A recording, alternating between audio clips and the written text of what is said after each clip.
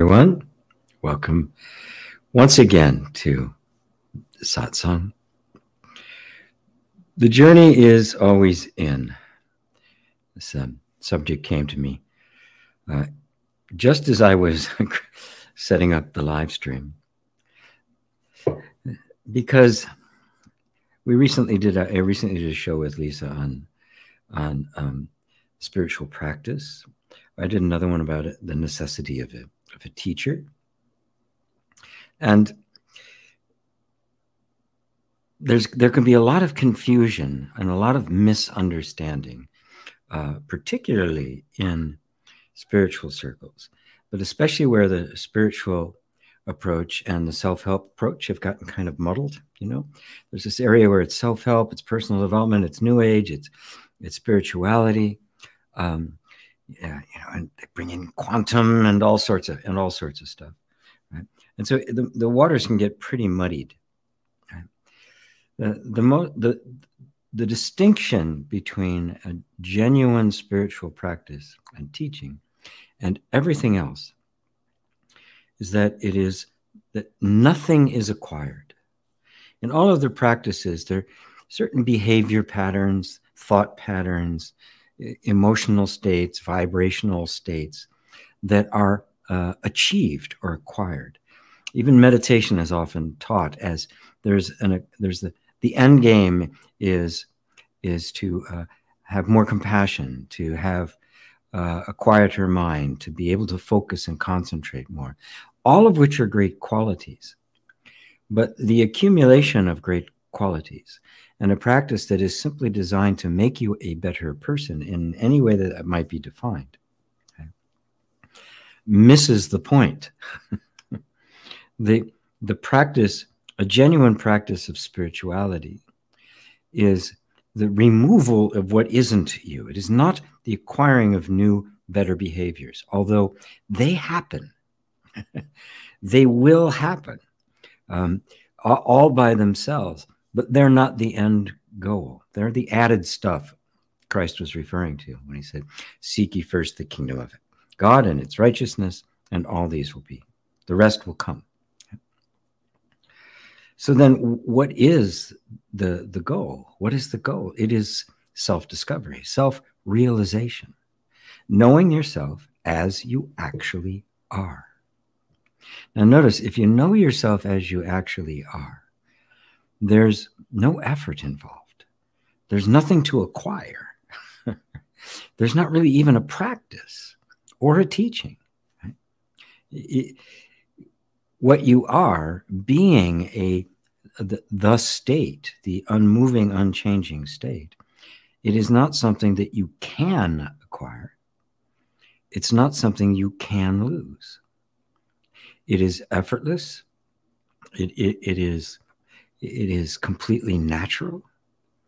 There's no there's nothing artificial added. It's GMO free, free range, right? it's you as you actually are, which is why it's referred to as heaven. It's referred to as this as this place of eternal rest. Because the rest comes from it's simply effortless to be yourself. So the practice, uh, the sadhana that leads to this realization can't be the accumulation of qualities, even the very best of qualities, empathy and compassion and gentleness and patience and charity, generosity. It, it can't be merely someone trying to be a better person. Because, of course, first off, we'll fail. Nobody can maintain that. Right? And secondarily, because it's actually pushing, putting your attention away from you outward. And this is a journey that is always in. It is always away from everything external, right? Everything that is obviously not you, which is the environment around you and the people and the places. And right, not so obvious are the things we do, right? Those aren't really you. Any one of us here could could do all sorts of different things. But We can't do it all at once. So there's certain things we are doing. So those don't define us. That's not who you are.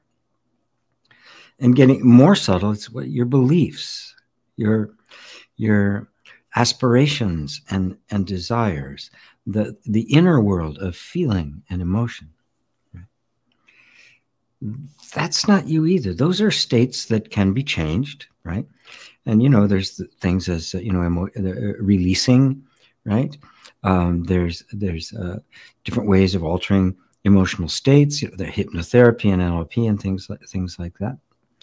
But again, all of those are changing right? So, uh, you into a different version of you, giving you better feelings, better thoughts, better ideas, pure, pure experiences. But they're still one step removed. They're, you're still there looking at them. They are, while they happen, they, they, they seem like they're happening on, on the, the this side of the skin rather than on that side of the skin, right? They are no less external to you. And when I say that, I mean that there's something looking at them, isn't there? No matter what the experience is, be it a thought or emotion, a sensation, a desire, a memory, whatever it might be, right? it's kind of like there's this inner screen upon which it's appearing. Can you notice that there's something looking at it? The thought doesn't think itself we, we don't take the time to examine this. Right? But this is what it means to make the journey in. I'm, I'm withdrawing for, from everything that's out there, be it on that side of my skin or this side of my skin. Anything I can perceive, anything I can look at cannot be me because I'm looking at it. And so this is the only practice that actually takes you uh, back to you. Nothing else does.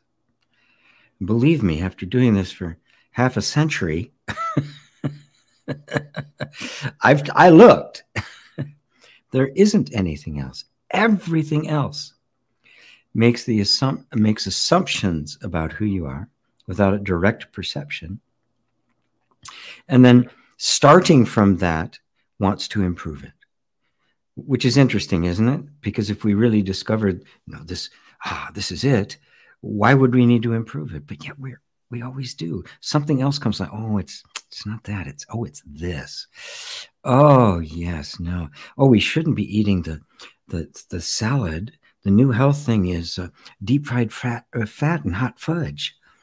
Ah, there's the new health secret carrots, cucumbers. Who in the world wants that? and this is this is the way it works. All you have to do is try to is take any health thing and type it into Google and look at the variety of, of completely contradictory information, all claiming authority, right? all of that's well and good, right? I, I'm I never have any objection of somebody improving their state in life, you know, in you know having a career that's more, satis- more satisfying, having a relationship that's more satisfying, having more financial freedom. I never there's nothing wrong with experiencing any of those. None of those will tell you who you are.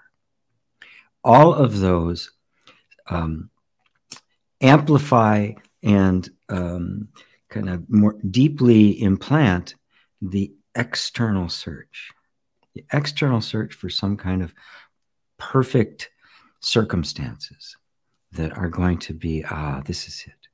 Right? And not only this will be it, but it'll be permanent. It'll never change. Has anybody here ever experienced anything that stuck around?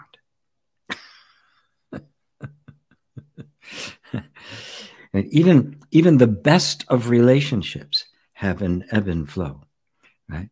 And they last only if both partners are actually pretty much on the same path, have the same interests, the, the same goals in life, of course, are both both of, are, are interested in discovering the reality of who they are, that's a relationship that can work. Right? It will be mutually beneficial, right? And that search, that that's that that sincere, sober looking will will uh, enhance it. It, it. it will bring all sorts of wonderful wonderfulness to it. But it it's the inward journey that we must make alone that would do that, right? Uh, you can create a relationship that is that that supports that, right? Right? And as a result, it will feed back and it will feed the feed that relationship. But but the goal is self-realization. And everybody has to make this journey within. And you notice this journey within, you're the only one there. Right? Even the people you're most close to can't be there with you. Right? When you're in bed at night having a dream, you may be laying next to the most wonderful person on the planet, but as far as you're concerned, they're not there. Hell, you're not even there. you may be a completely different char- character. So it is a journey in the sense that we are we are headed somewhere, right? From the perspective of our normal state, which is we are complete highly engaged in the external circumstances and highly engaged in a particular sense of our own identity, which is what I refer to as this person that needs to be fixed, the person that needs to go on a journey. And so from there, we are going to be making a journey. It just needs to be in the right direction. it needs to be headed inward. It needs to be headed into, into a place where we can actually get an answer to it, which means everything else is set aside. All distractions are set aside just temporarily. You don't have to do it you know, all the time, right? You don't have to become a monk. You don't have to go live in a cave. You don't have to sit and chant Om all day. But just whenever you can, to just stop. Notice how the attention's been focused outward and then and and step back. So when I say journey within or turn within, what I mean is step back from all of the things that you are experiencing, feeling, thinking, to this place that is simply aware of thoughts and feelings, sensations, desires, whatever happens to be going on. There is this place in you that is aware of that. And noticing that our sense of identity, the sense of person, is always is always um, one that is identified with stuff that's going on. The sense of identity being, I am this person, I'm doing this and, and that. But just notice that, that all of that is simply this activity. It is simply being perceived on this screen, whether that screen is out there or in here. Noticing that, you can come all the way back to this place that is that is aware of being uh, being aware of all of this is not identified with it and it's here that the question who am i then gets can get asked if it's asked any other time the mind will answer it based on your preconceived notions the self-image the concepts you have of yourself all the beliefs and assumptions and all that kind of stuff right it, it will answer that but if all of that those answers are recognized to be thoughts which you are seeing, then the you that's seeing them isn't being described by those thoughts. In which case, it's now, oh, I am simply witnessing these.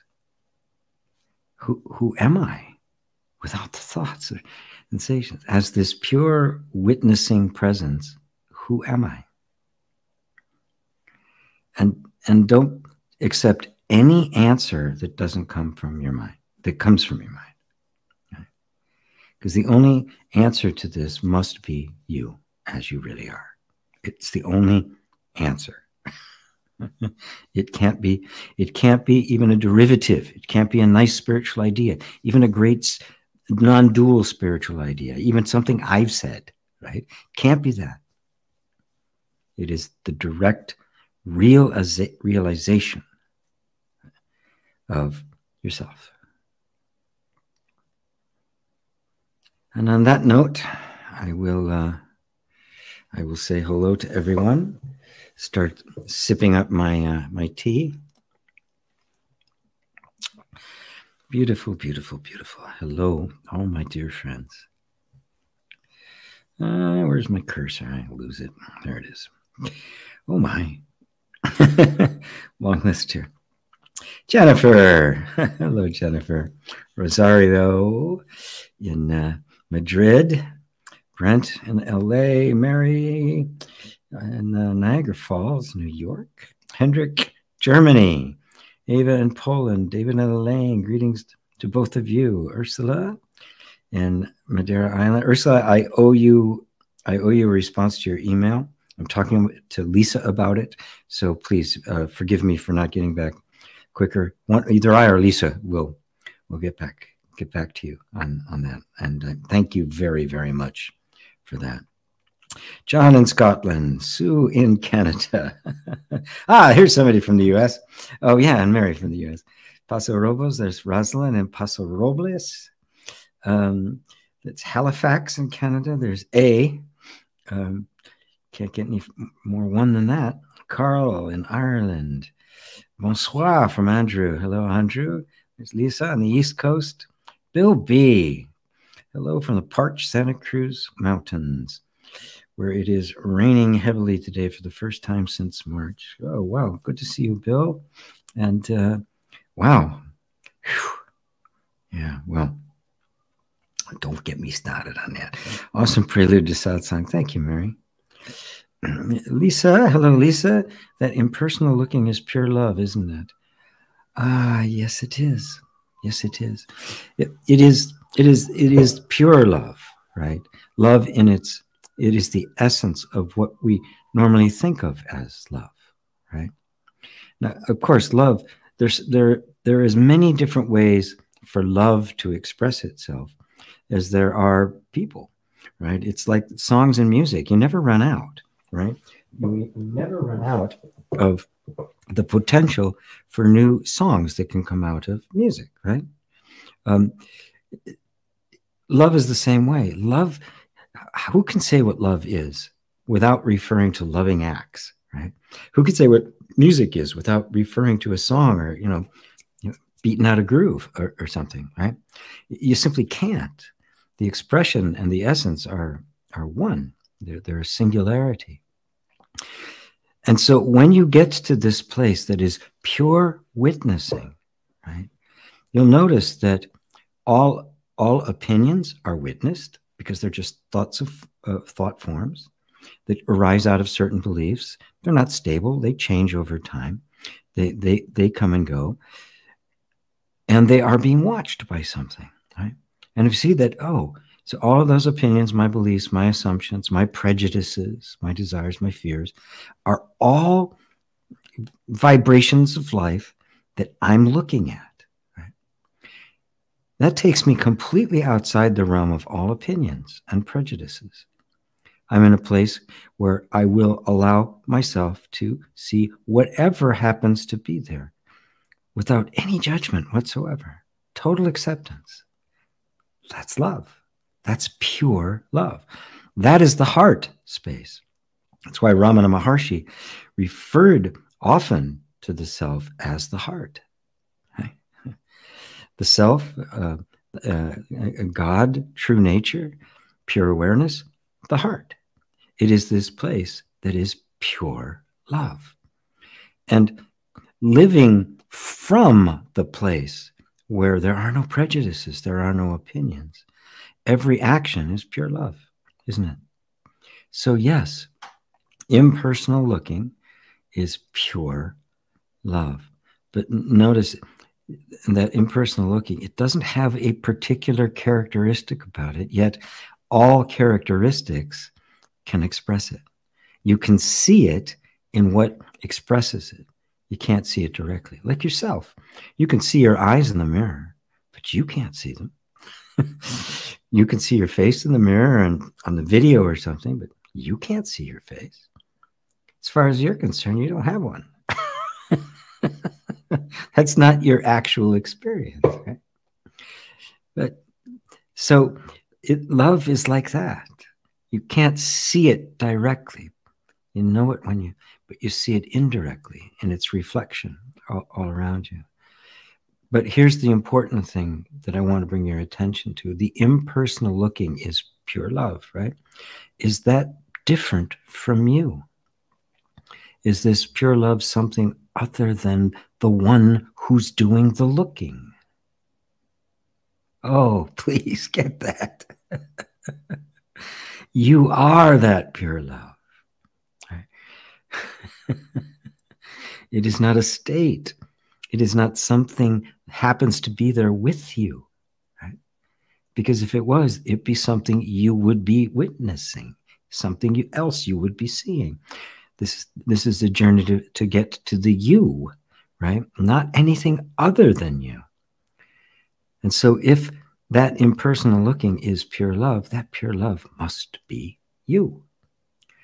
Now, keep looking at that which the word pure love expresses. And don't let it, don't, it's very subtle how we can get engaged with the word pure love and, stu- and suddenly give it a shape, give it a form, give it a character, give it an identity. It's a word pointing at something beyond all words. And that something is you.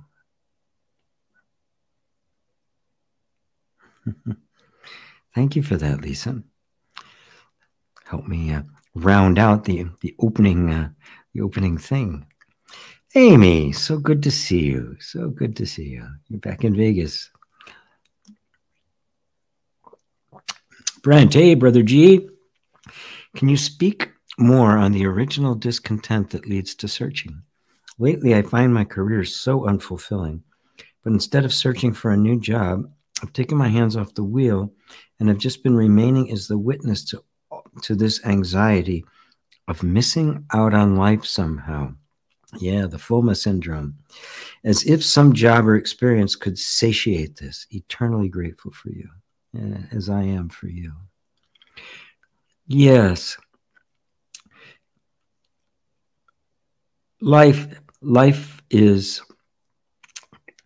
life lived from the point of view of a personal identity. I am this body, I am this mind, I am these beliefs, where that sense of I has gotten all mixed up and bound together, stewed into this stew. And we call that the person or the egoic mind.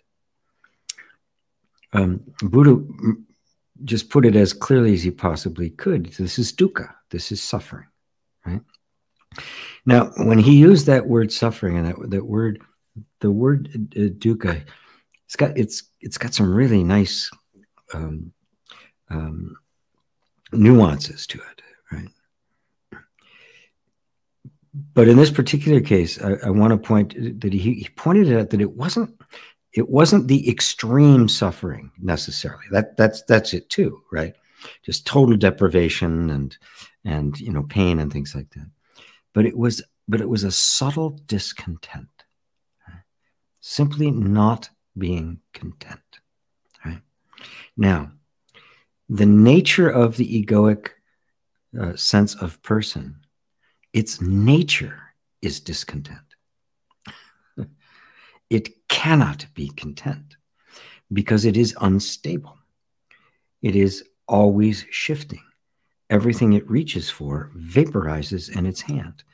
Maybe not immediately, but eventually it will. There's just this innate discontent that is the suffering um, that Buddha was referring to. That is that is that it, especially now in the West is distracted from. It's pushed aside. It's it's tried to you know, visualize it away, um, thinking that somehow we can create a version of ourselves, a, a different uh, egoic mind that is free from this discontent. And for a while, that can do it in the sense that um, when we get what we want, when our minds are made, I want to have this and I get it, there's an emotional high that takes place, right? Inevitably. And, and that emotional high will temporarily mask the discontent. And we think, this is it. Boy, I, have got it now. I've got that car. I got the relationship. I got that job. Got this thing. But eventually, as all things are impermanent, it's going to shift. A new desire is going to arise. Or this one's going to just kind of get old. It's not going to be that interesting anymore. I'm a little closer. I don't know why this thing is um, keeps kind of pushing me in and out of focus. Didn't used to do that. Now, oftentimes our, our spiritual journey uh, will involve experiencing that discontent. The, the journey, as it starts for, for everybody, first off, that, that discontent was just completely ignored for hundreds, thousands of years, right? It's just, that's it. That's what life is like, you know, tough luck. Recently, last hundred years or so, our, our ambitions have gotten more. There's this idea that well, maybe we don't have to experience that, and the you know the consciousness movement, uh, uh, self help, and and um, and and all of that metaphysics, law of attraction, all got all started getting higher ambitions about well maybe I can be satisfied, right?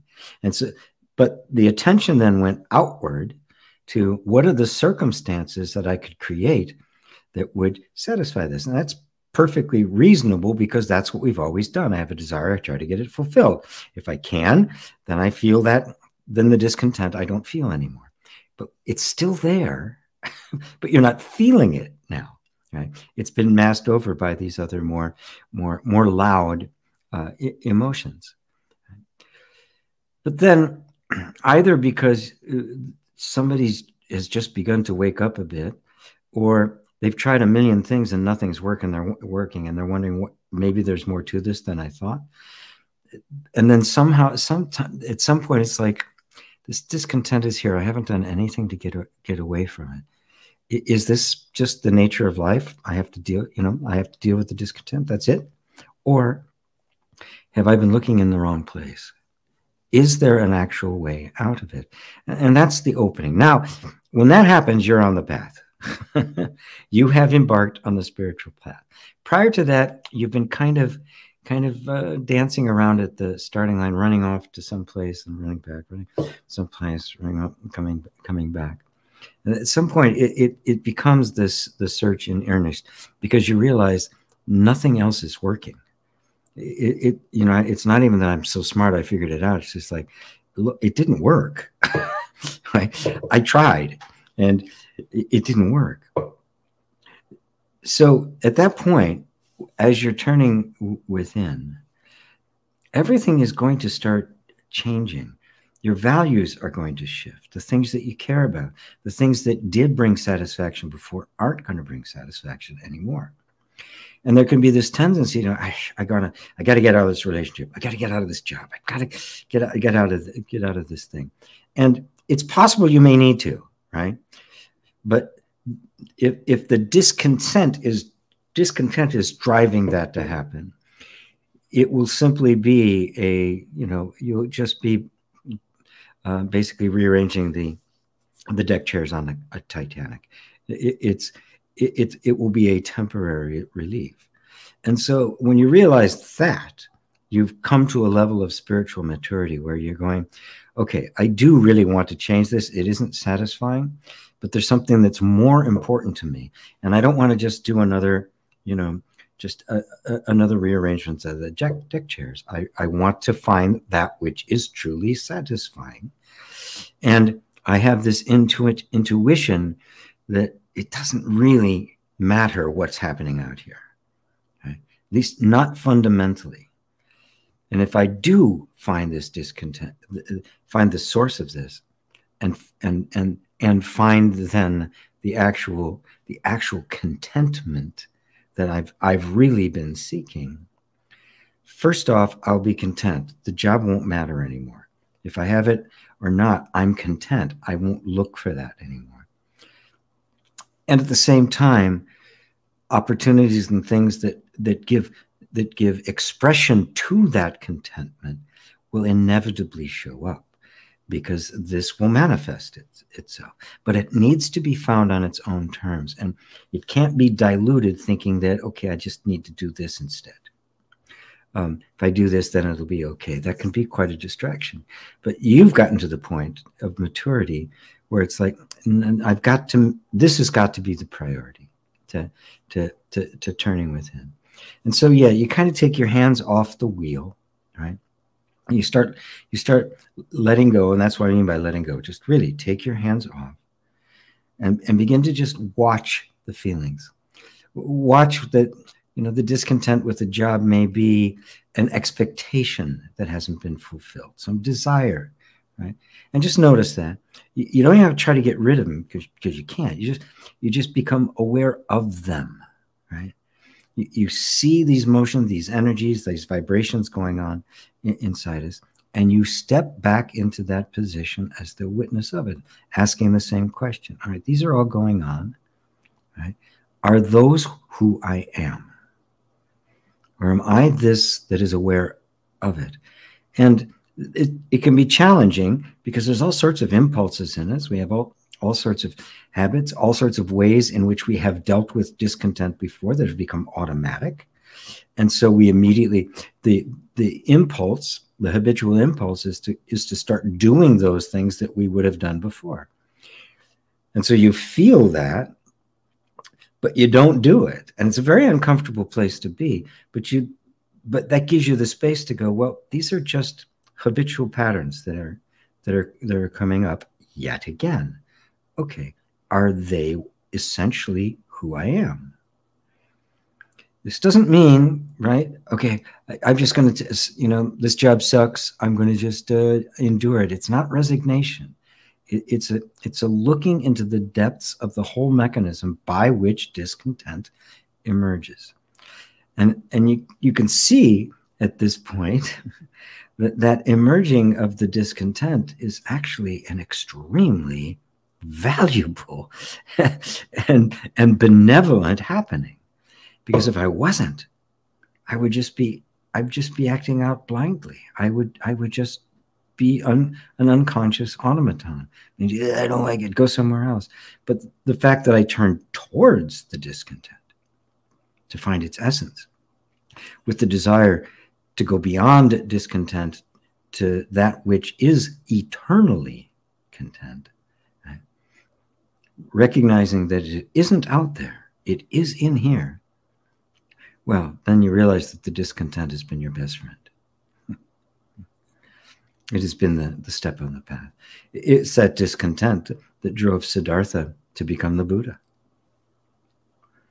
He had a totally easy life, right? Everything he wanted. He was a prince for crying out loud. Everything he wanted, servants, and he had a great relationship. He and his wife loved each other deeply. Right? But he got really exposed, deeply exposed to suffering I just ate at him. He couldn't, he couldn't, he couldn't stand it anymore, and he left.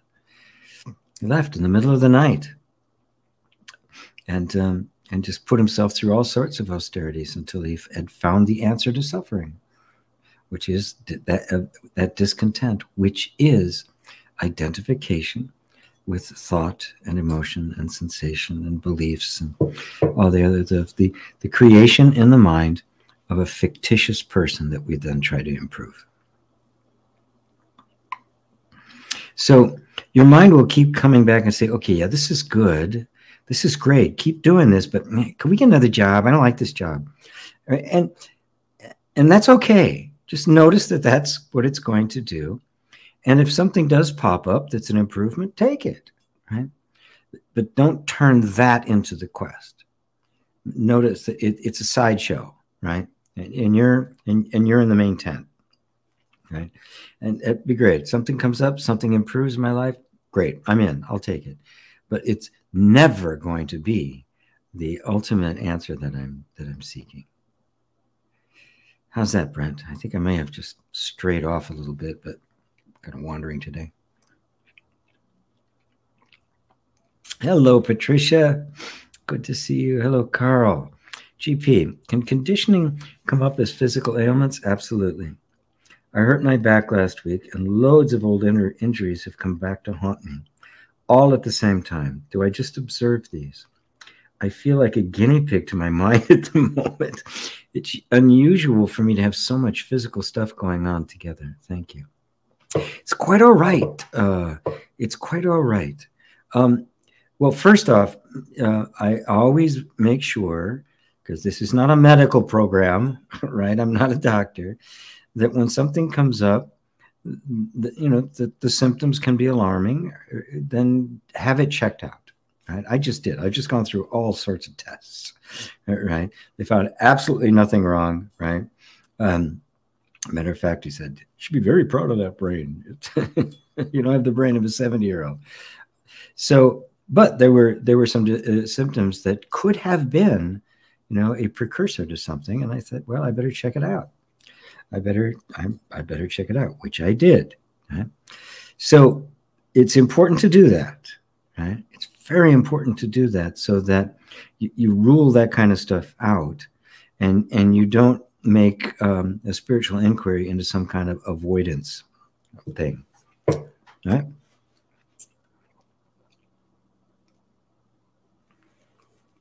now that saying it is absolutely um, it's absolutely true that deep traumatic material, conditioning stuff coming to the surface can appear in the body as physical conditions. Now, this is not just some kind of abstract metaphysical thing.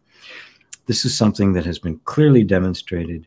It has not made it into the mainstream of, um, of the medical community, but but it is. I mean, these are studies that have been do done and published.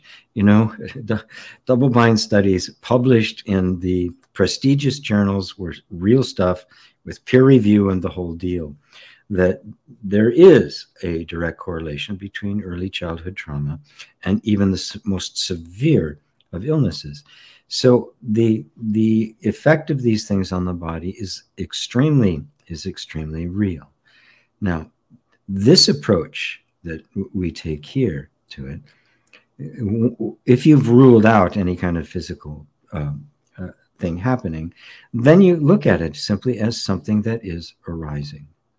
And you observe those, but also observe your emotional reaction to it. Observe the emotional environment in which which in which it's happening. And and you can you can be with it. You can use something like tapping to um, to to help the, the the body relax into it, to kind of kind of just kind of sink into that feeling of, of safety. So it, so it's not you know panicking about something that's that's that's gone wrong. And you can also do you can inquire into it right? Um, in sessions with people and in group stuff that i've i've done and i haven't done a live class in quite a while because of all this other stuff that's been going on but we'll actually have a conversation with it right if there's a particular painful thing coming up just kind of put your hand on it and say, well, okay, what, why are you here? What do you need from me? Right? Open up this kind of like dialogue with the energy as it's moving, right? Saying, what can I do to help? Right? What do you need? Right? I, I know you want to release yourself. The body does not want to be in this state. I recognize that it has been holding that state for a long time to to keep this energy of the, the trauma suppressed. We now have a safe enough place for it to release itself. What do you need? Right? You've you've come up, right? And everything comes up on its way out, right? And it will be on its way out, right? That is the body just kind of discharging that that energy. Unless we do something to keep it there by intimidating it, by creating an environment that isn't safe, by by um, uh, by reframing, do all the things you do to try to suppress that energy. So instead, you're being you're you are doing everything to be present with it. recognizing that there's also a natural resistance to feeling pain, of course, right? Nobody wants to feel that. And acknowledge that as, as well, right? Acknowledging that I want to resist it. What I really want is to go away, but it's not. All right. So I can't help it if I just keep telling it to go away, right? That doesn't work. If somebody tells you to just go away, you you you can't do much for them right? So you then say, okay, why are you here? What are you protecting me from? What is this? What is this about? And become curious about the stuff that's going on inside of you. See, notice this doesn't have to be some kind of a non-dual, right? The body doesn't exist; it's all in the mind. It, anything like that. Even though ultimately that is true, uh, in very practical terms, I find that people taking that approach are are usually trying to do an end run. They're doing a spiritual bypass and not actually being fully present. Because if that's all true and it's just all energetic patterns, then I can be with them without fear. Right? And, and this is the real gift that that that the inward journey um, that uh, gives you. This is the wake on the boat, right? Nobody gets into a boat to make a wake. You get into a boat to go somewhere, and the wake is a byproduct. So this journey inward is going to open up space as you're disidentifying with everything you thought you were. It's going to open up space, and old stuff and deep stuff and stuff from past lives is going to come to the surface. Just don't just don't re-identify. Um, notice the the habit of wanting to resist it or suppress it, and ah, thank you. I see that now, and disidentify from that. Notice that you are witnessing that as well, and just do everything you can to come back to this place of the loving witness. I call it the peacemaker. Right. So you have no issue with whatever the body's doing. Right? And this kind of opens up a space that whatever pain is there that is purely psychological, purely coming from resistance, it will dissipate very quickly. And what's remain what remains will be something, some place in you that needs even more love. Because remember, this is self, this kind of love is is self-accepting. It accepts the fact that it's there and it's there for a reason and, and inquires into the reason rather than just wishing for it to go away, right? That's genuine love. That's the pure love of the witnessing. Yeah. Does that help, Carl? You'll tell me if it doesn't. a. How to create a better relationship with one's thoughts, G. I know I am not my thoughts, mind. However, I, I always wonder how the Buddha obtained his knowledge without thinking. Um, great question. Great question. Because the knowledge that he attained was beyond thought. It was not our discursive kind of knowledge that we think of, which is really just descriptive, right? You're defining one thing in terms of something else, describing things, you're comparing things, right? and that works for things. You know, I can I can describe the microphone. I can describe the little, you know, the pad I have here, right? The track pad I have here. I can describe I can describe these things, right? Because I'm I'm separate from them. I'm looking at them, and I so I can describe them. Of course, my description will be limited and biased because it's only limited by what I can perceive with my senses and and conceive of in the mind, right? So, but I can do that, right? And that is what is regarded as knowledge, right? And the better we get at, we try to get past our perceptions, so we we're, we're clear about what we're actually seeing. But it's but it's a subject-object relationship, and the knowing of something, right, is that is its attributes. This is what it is, and I can tell you in words what it is. Well, where does that, what happens to that uh, that mechanism of knowing or knowledge when you can't look at the thing that you're trying to know. You can't. and you cannot look at yourself, can you? You cannot stand aloof from yourself and then describe yourself. You, you can't do it. You, so you, it's a different kind of knowing. You, the, the that's the inward journey where you're withdrawing from all of the normal knowledge that we associate with ourselves, which are just the, the thoughts, uh, our language, feelings, descriptions, comparisons, and, and all of that, because all of those don't apply to the non-dual inquiry. I can't apply that to myself. So I step away from the mind, right?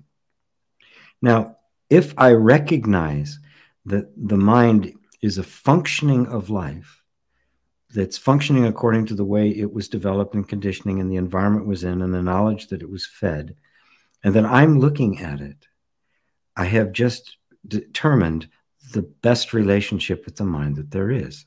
I let it be what it is, but I don't believe it's me.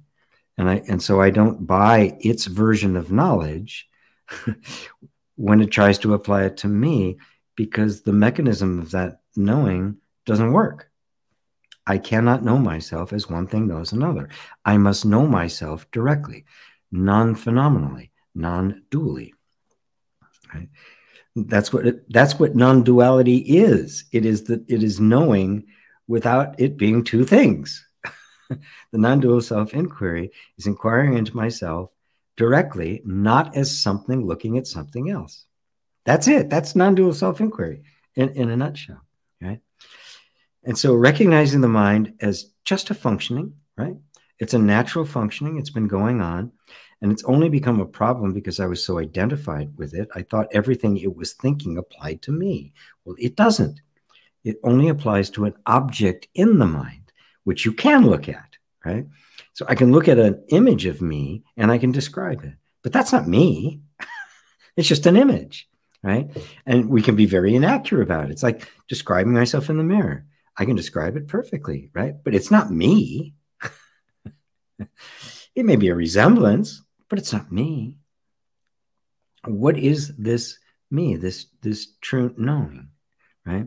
This is the knowledge, the real knowledge, Vedantic knowing, or jnana knowing, which is a, which is a, another Sanskrit word for that, this kind of knowledge, right?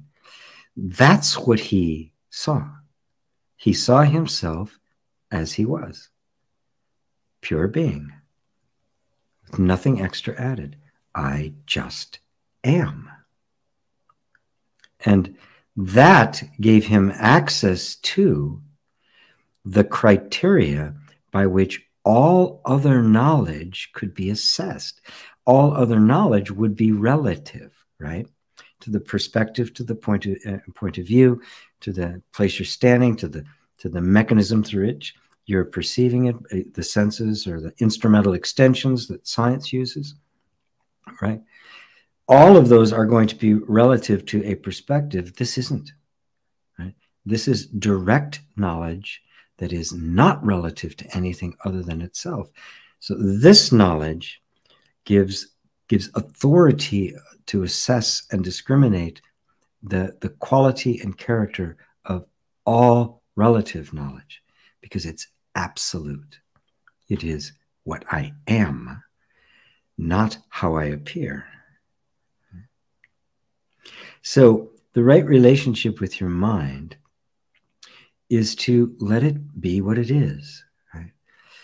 when we say that, we, we like you, you can sense that there's something that's troubled. Somehow I want the mind to shut up or agree with me or or tell me something nice for a change, right? that you can see that there's some kind of subtle disagreement with it. Well, it doesn't do any good to it. You might as well disagree with Siri. Siri, I, I I don't like the sound of your voice. I'm sorry. I don't really care, right? There's no I there. There's nobody there. It's just a functioning. Right? The I is simply a, the functioning of thought. Thought doesn't think itself, it is not self aware. You are. And so it appears to you. So whatever appears to you isn't you, nor is it talking about you. It can't. It can't see you because you're not an object. So just let the mind be the mind. And when you do that, you'll find the mind just kind of gets quiet. the, the, the flow of thoughts just kind of slows down, right? simply because they're not being energized by your attention, by either an attachment to a thought or an aversion to it. It's just, oh, this is just the functioning. That's what it is. But who am I? The one looking at it, the one who sees this functioning, who sees all knowledge. Hmm, what am I? And just notice that there's a knowing there. You know that you are, but it's not a knowing, right? That because somebody told you or somebody described you, right? you just know you are. That's a direct knowing, isn't it? And, and there's the difference. That's Vedantic knowledge? Or jnana, wisdom. Does that do it for you, A?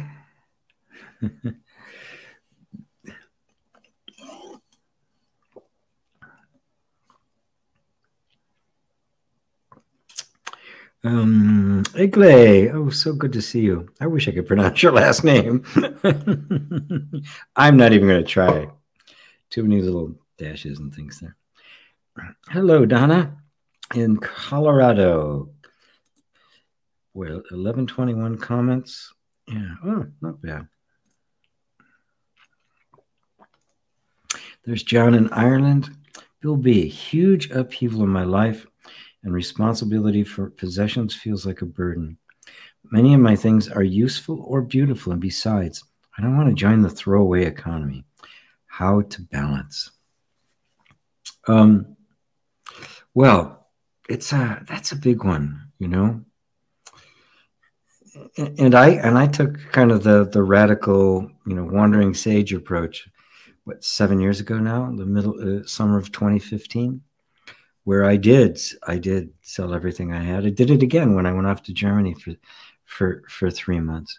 Um, things that I really did love, things that I really cared about. Uh, everything, the stuff that we love, the stuff that are useful, the the the stuff that are are, are beautiful are all transient and temporary. Nothing is for nothing is forever. That doesn't discount their value to you. It simply means that what do you value more, right? So you, there's no need to find a balance. There's right. Uh, uh, uh, it's a flow. It's not a balance. In a balance, nothing's happening. This is this is a flow, right? And so when there's an upheaval in your life, and things feel like a burden, right? go into the feeling of being burdened rather than into the, the things that appear to be creating the burden, right? Because let, let's face it, any the possession, if a possession is burdensome, everybody who has that possession, whoever could touch that possession, would feel burdened, right? But obviously they don't one person can rejoice in it for a while, right? Whereas somebody else, oh God, really? I don't want that. You know, some people would uh, think having, you know, a, a 10,000 square foot house is the most wonderful thing in the world. I see it as a huge burden. it's like, oh my God, I have a one bedroom apartment and I don't want to clean that. right? So, but it has nothing to do, right? Somebody else could feel burdened by this or uh, squashed or something. So then, where's the feeling of burden coming from? It's not coming from the things, it is the sense of self that feels burdened. And I'd go even so far as to say that you, the sense I am, is feeling burdened by the sense of self. Because the egoic identity is burdensome, it's heavy, it requires so much energy to maintain. So go deeply into that feeling of being burdened, into the feeling itself, putting aside all the assumptions about, about what is causing the burden and even who is burdened. And, and just ask deeply where is this sense of being burdened come from? Can I not be free from this unless I, I throw everything out and make a, a completely new life and just detach from everything? Right? Is, if that's the case, then I'm my freedom is completely dependent upon these. Freedom must be more innate than that. Right? There must be a way to, to, to know freedom without. I mean, by definition, freedom is free, right? if it depends on something else, it's not free, right? It, it must be self existent. So then, where's this sense of burdensome come from?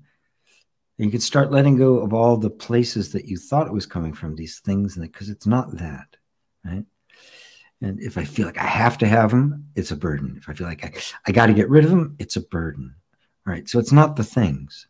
Where's this actually coming from? And, and that doesn't mean you may not just chuck it all and, you know, and go off somewhere. And say, screw it. Go completely off grid or something. You might. I, I just want that to come out of the, the, the deep seeing and not be a reaction in an attempt to to to make adjustments to things to try to create something which you're which you're going to find in in the probably not too distant future is also becomes a burden right? because maintaining something will become a burden which means the only thing that isn't a burden burden is something that doesn't need to be maintained that is self-existent and effortless and what's that you the real you is effortless. It does not take anything to be who you are. Takes an enormous amount to be who you're not. And so at that point, if something is, it's time for something to go, it, it, it probably, you don't need to throw it out. There's probably somebody else who can use it or buy it or, you know, some, some place where it would really, it would really be appreciated. Last time I did that, I, I went to the uh, the Salvation Army. I couldn't believe how grateful they were. I've left stuff at other places, and it was like, yeah, thanks, put it over there. Um, but I, at least this one place I went to, oh, they were so. This is great. We can make. Oh yes, they were just like, ah, oh, wonderful. They they knew there was a need for it, right? Um, so let me see if I've covered everything you said. Right? So appreciate the beauty and utility of all things, right? Because they're not the source of the burden. And when you are unburdened, they won't be a burden. They also won't be an attachment. You'll love them while they were there, while they're there, and when it's time for them to go to somebody else, they'll go. So, um, take the upheaval in your life as an invitation to go deep into this sense of being burdened uh, and find the one who is burdened, you will find, is not who you really are. And both the burden and the one who is burdened will both dissolve. Thank you, Bill B. Lisa. I looked a few days ago again very intensely after myself. And then when there was just a no thing, there was so much laughing again, tears running from laughter, but still a sense of I ego remains. But it's okay. Yes, it will remain. Of course, it's going to remain, right? You're not going to become a zombie, right? the, the it, the ego stops being you and just becomes a functioning right it, uh, the sense of identity comes and goes there's a, a, function i've taught it in depth in a lot of my one of my courses that happens very naturally and it's called the storyteller mind it's always making up stories about things and the main story it's always making up is the sense of identity right if you realize that that's what's going to happen and that the sense of I will always be there until it's not. You're no longer a slave to it. And remember, the, the ego is not the thing, it is not the actual formations, the patterns of thought itself. Those are just what happened. They're conditioning the, and the natural functioning of the, the whole energy energy system. When the sense I am identifies itself with the ego, with the functioning. I am this functioning.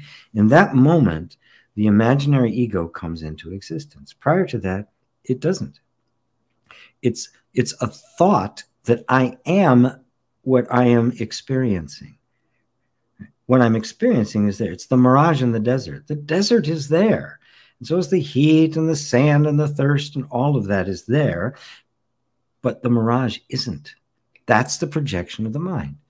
So when the mirage is gone, does that mean the sand's gone? The, the sun's gone? My thirst is gone? No, it, it just means the illusion that got projected on what in fact is a natural functioning is gone. Right? And that seeing it, oh, I'm no thing at all, is the seeing yourself as you are, not as an as an as a as a as an ego. The ego's gone, right? It never really existed. This is what you are. So that sense of identity is there. Now, from here, you'll notice that the functioning's still going on. You're still breathing, right? I'm I, am i am assuming you're still eating food and taking showers and walking around and doing stuff. The functioning, there's not the functioning is innocent, right? And the functioning will actually fun, function better when it is not limited and constricted by this sense of who I am. Now, that sense of I, take some time and just be present with it as the witness even of that. If I can witness it, it isn't essentially me. So even the sense I am, right, which is the first vibration, its own, right? It is the firstborn, right? That sense I am is what identifies with the body mind and gives rise to what we call the ego. Notice that that being redeemed from that, the sense of I begins to come back home to that no thing. That no thing that does exist. Right? It's not nothing, right? It, it, it just, it's just me, right? Ponder that. It's just me nothing else added. No thing except me. And I'm not a thing. I am here.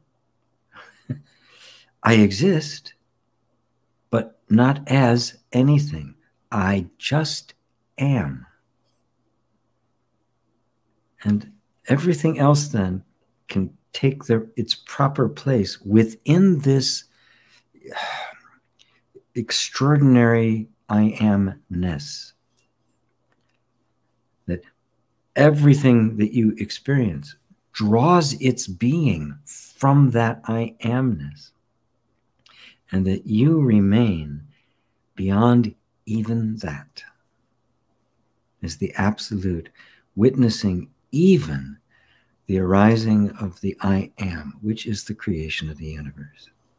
And with it, all the gods and men and space and time and all of it is the I am, witnessed by that which is beyond all of it the true self, the real you, the Buddha, Nirvana.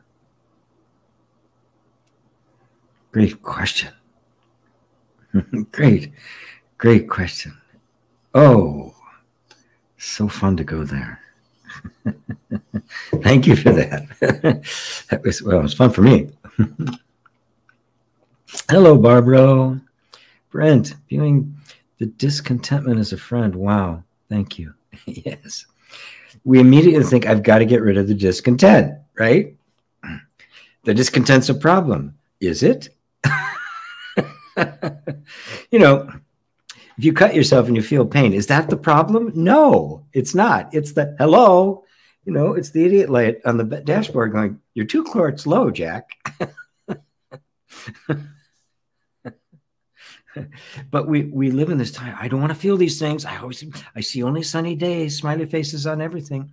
You know, the whole law of attraction nonsense. Right? Oh, wow. Thanks, buddy. Stante, Chidante. Nice flowers. Very good. Thank you. Yeah, I got the I saw these sunflowers today as I was picking up some stuff at the grocery. Oh, yeah, absolutely must. I must have them. Everybody loved them. Very good sense. Do you know? Do you know the meaning of effect acknowledge the energy, charge free of meaning, no reflection. A little, let's see, sense, very good. Sense? Sensei. Sensei. I'm sorry, I didn't see the eye. Oh, thank you. it's quite an honor to be called a, a, a sensei. Some called me a sifu. Even a couple of people called me Kyoshi. Um, very honoring. Thank you. Do you know the, the meaning of effect? Acknowledge the energy, charge free of meaning. Yeah. Yeah. It's just acknowledge it. You see it, right? Um, charge free of meaning. Now, how do you how do you actually take the meaning away from something? Well, you have to see that the meaning was never in the thing; it was always in the perceiver of the thing. In which case, then now we get stuck because we think this is the meaning of it, and the meaning I gave it didn't come from me. It's what it is, right? When you realize it isn't, that it's just your perception, everything loosens up. everything becomes easier. It's like, oh, it's just my perception. And there's an openness now that allows you to see what's actually there and not just your perception of it. And and in so doing, it loses its charge. It also empowers you because, oh my God, my whole world is nothing but what I think it is. All the meaning of it, all the suffering, all of it is, is simply the meaning I gave it. It doesn't have any. There's no suffering in life. I project suffering onto it.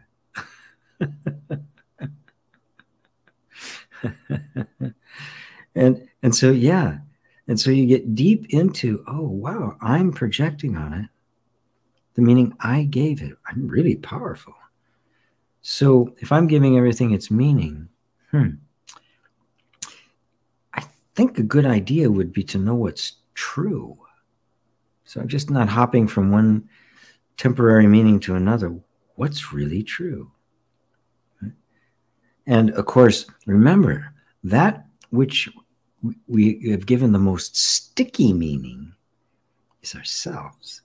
The image we hold of ourselves is also meaning we have projected on it. And so, this image you hold of yourself doesn't possess any of the qualities you think it does.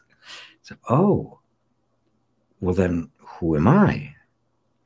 The source of all these projections. And these projections, well, they must, my God, they must be here. They must be coming from me. So whatever meaning I give it is actually my meaning. It's what I mean. Oh my goodness. Who am I? Get you right back there. right back, right back home to the to the the journey is always in. It doesn't matter how far you roam, you always come back here. Mm, Isabel. Oh, Carl, much love and gratitude for the verbal back massage. Guru of many talents. you're, you're welcome, Carl. Isabel, hello from Portugal. Hello to you. Now, soon in the USA again. Well, welcome. Dante again, function versus recognizing spirit. Yes. Recog- that which recognizes functioning as functioning without identity is the spirit. That's just another name for the self or for God or for or for Buddha nature right? or for the heart or for the nothingness, shunyata, emptiness. Right? The functioning is actually the functioning of the nothingness, right? The, the, the total emptiness of being gives rise to the infinite variety and variations of form. So the two are actually one, right? Like music and the song. You can't separate them. Uh, Ibala, Ibala, Ibala. Hi, GP. Every, greeting from Holland. Hello. Is my conclusion that freedom for everybody has a different meaning? Yes, obviously it does.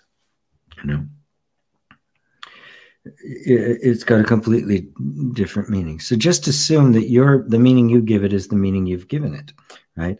But what that means is that the, the meaning that you have assigned to freedom, the meaning you give it, you will be bound by that meaning if I think this is what it is and it isn't that, then I'm kind of stuck in that little bubble of meaning that I've given it. But if I realize it's, I've given it that meaning and I could give it any meaning at all, it means that there's actually no limit to what freedom is, which means that there's an infinite freedom available to me right now.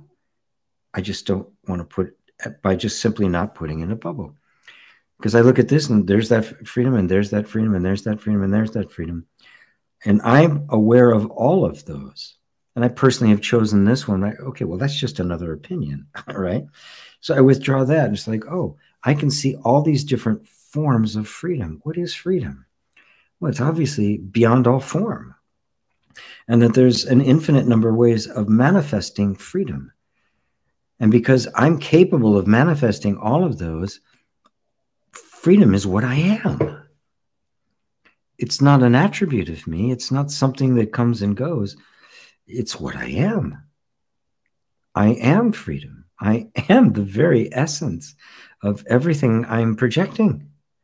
I have to be. If I'm giving that a meaning, the meaning that I'm giving it isn't in what I'm giving it to. It's in me, and I'm giving it to it. I'm projecting it. Hmm, maybe I ought to pay more attention to the projector, right? The journey is always within. so, so, and noticing that, oh, wow, everybody has a different meaning for it. So, freedom, then what is the actual meaning of freedom, right? Is there some definition of freedom that I can put in a box? Well, no, it can't be. It's just going to be another perce- perception. So, what is it? Where does it? Oh my! It's got to be so unlimited that it can't be put into words or sh- a shape. And I'm aware even of that. Hmm. It's me. I am that love. I am that freedom. I am that joy. I am that wisdom. They're, they're not they're not concomitants of me. They're not attributes of me. Right? They're not separate from me. In a sense, they're kind of the per, the perfume of me because I can talk about love, and I can talk about uh, truth, and I can talk about wisdom, and I can talk about meaning, and I can talk about freedom. I can talk about all of these. I can see every different form of them all of those are kind of a, a, a, an I amness.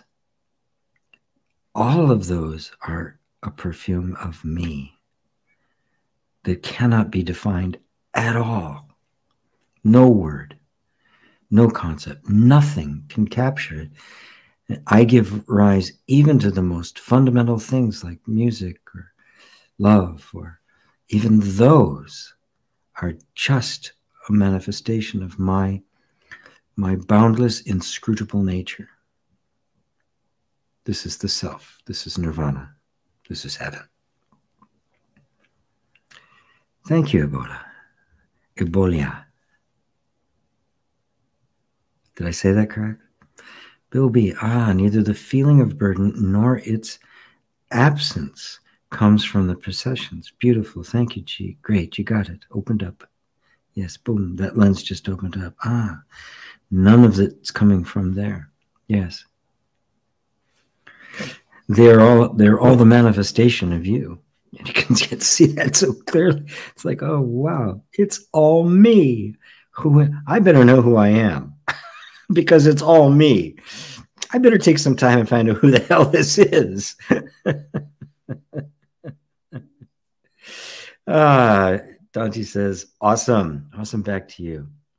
Mary Sykes, GP, may I ask what your thoughts are of Eckhart Tolle's book, The Power of Now? I love that book. I think it's wonderful. It's a great book.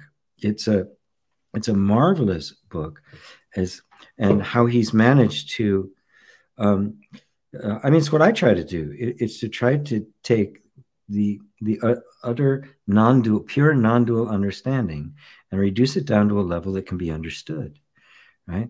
He talks about the pain body. I talk about conditioning. I call it the robot, right? You know, the, the Siri inside, it's just the voice. You know, the pain body, he's used different analogies from it.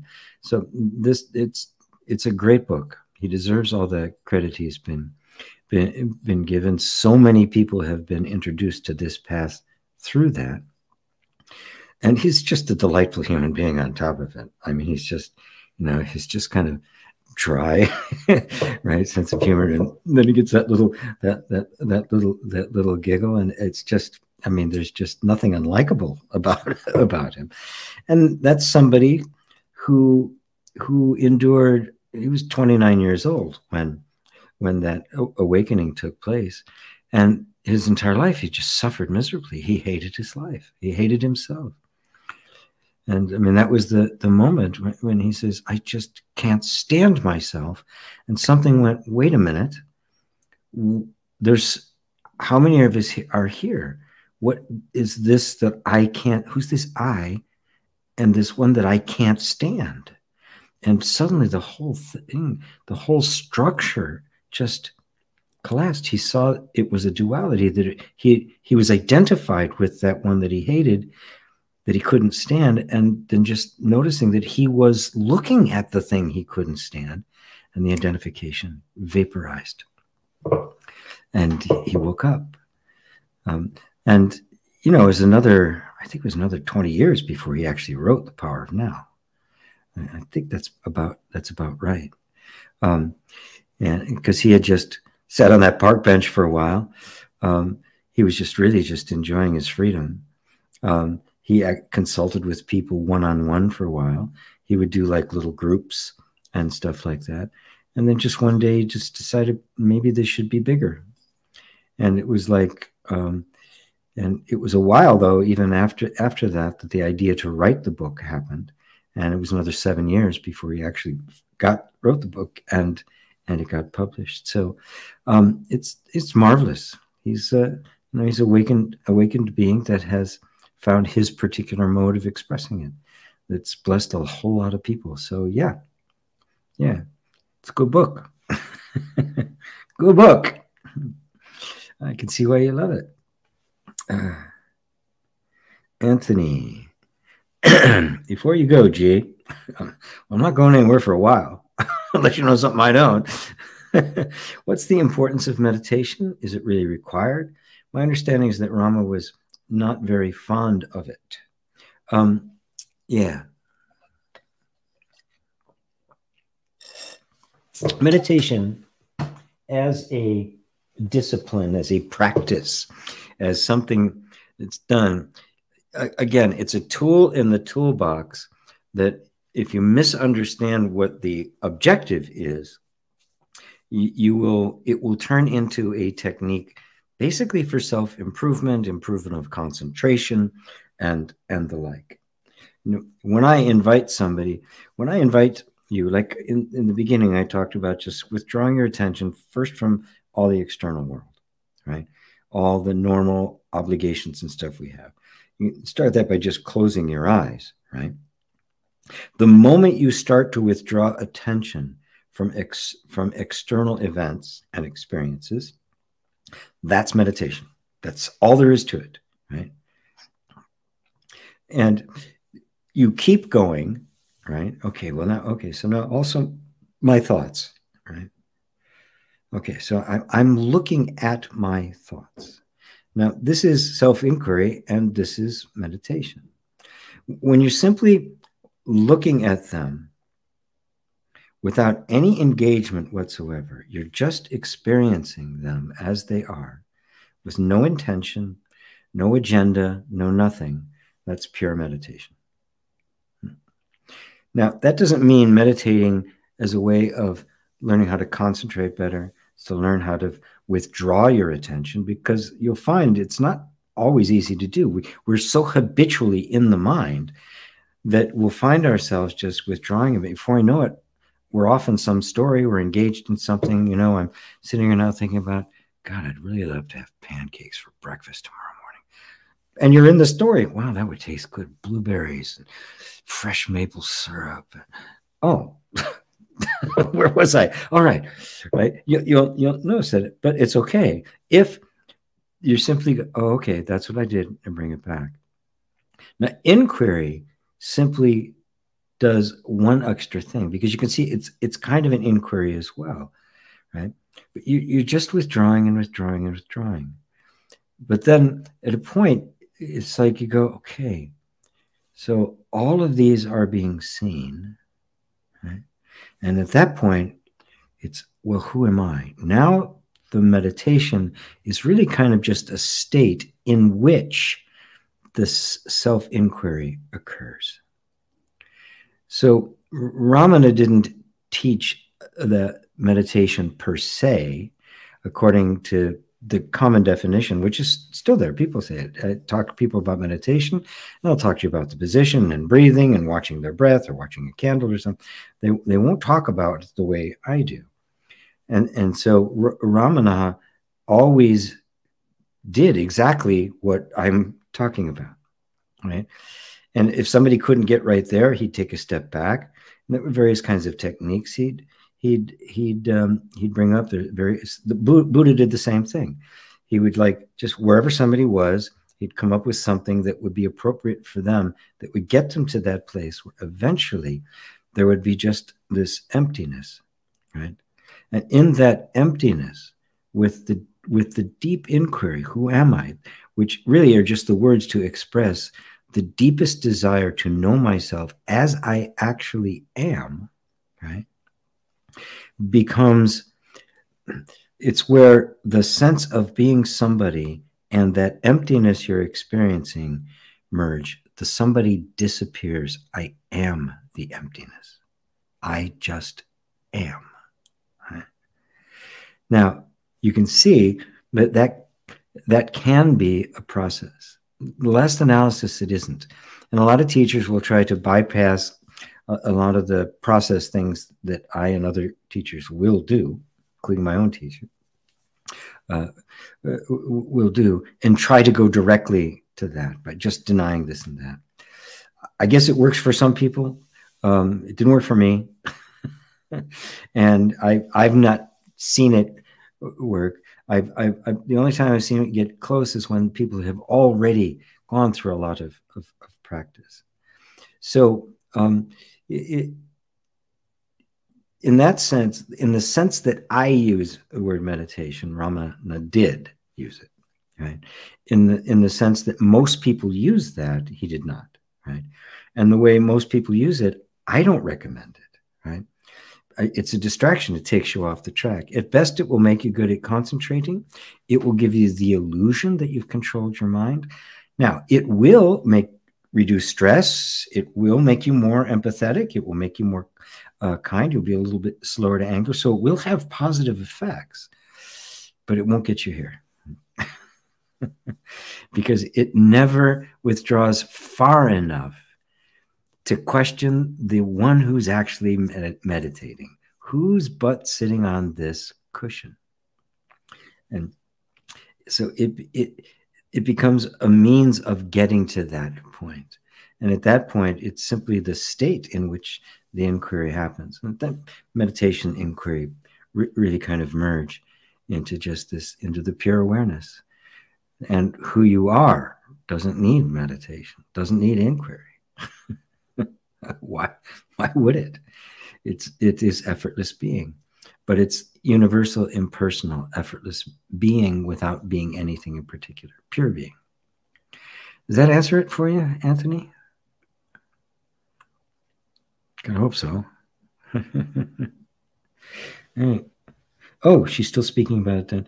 Mary says, I love it as a non-denominational. It's it's is so like an arrow that pierces the armor. I'm still speaking about Eckhart book. Yes.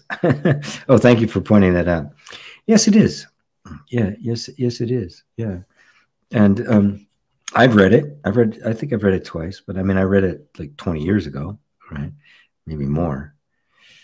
Uh, yes, yeah, I think it was that long ago. It was quite a while ago. Um, and um, I mean, I don't, I, I, don't, I don't now, right? I don't need those pointers anymore. But they're the most perfect pointers for many, many, many people.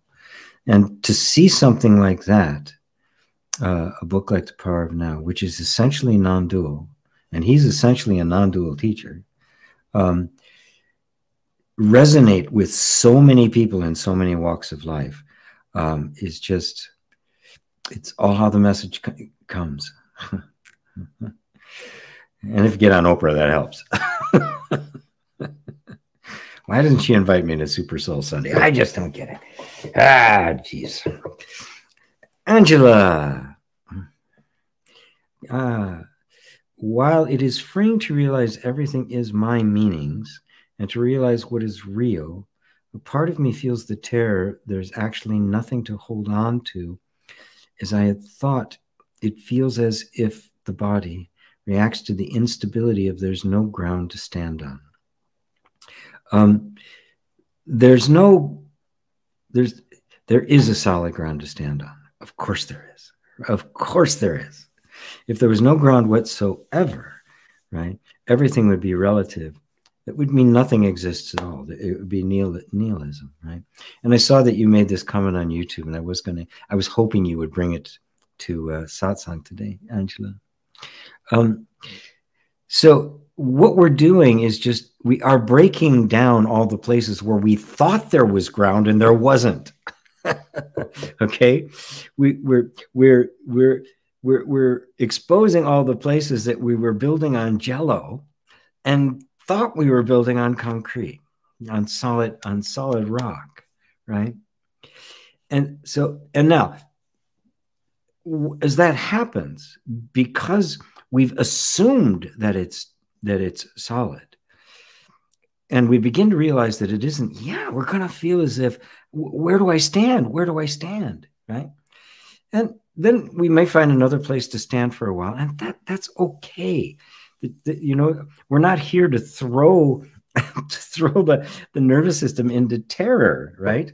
I, I'm not here to give it give anybody the shakes, right? You're going to take from this step to this step. I mean, and it's okay.